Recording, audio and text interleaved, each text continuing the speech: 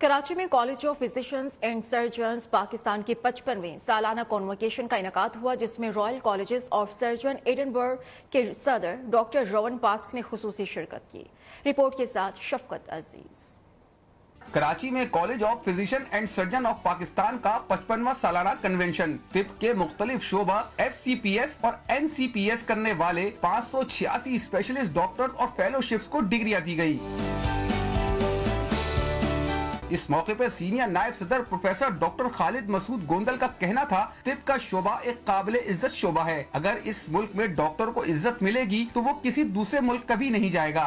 इन लोगों में एक जज्बा खिदमत है और अगर इनकी रिस्पेक्ट और एक गुड लिवलीहुड इनको यहाँ पे मिल जाए तो लोग यहाँ ठहरना पसंद करेंगे। तकरीब में आला कारकर्दगी पर तलाई तमगे हासिल करने वाले फेलोज काफ़ी खुश दिखाई दिए और मुल्क में रहकर काम करने को तरजीह देने का अज़्म किया। बहुत टीचर्स सबकी सपोर्ट सबकी फ्रेंड्स की सपोर्ट बहुत इम्पोर्टेंट होती है। सबकी सपोर्ट थी तो मैंने अचीव किया ये टारगेट मैं अपने पेरेंट्स को फैमिली को अपने टीचर्स को सुपरवाइजर्स को अपने फ्रेंड्स को बहुत बहुत थैंक यू कहना चाहती हूँ। क्योंकि उनकी ही वजह से मुझे जो है ये आज ये ऑनर मिला है। कॉन्विकेशन के मेहमान खसूस royal college of surgeon Edinburgh ने उम्मीद ज़ाहिर की कि डिग्रियाँ लेने वाले डॉक्टर इस मुकदस पेशे को इंसानियत के लिए वक्त करेंगे। कैमरामैन रियाज के साथ शफकत अज़ीज़ न्यू न्यूज़ कराची।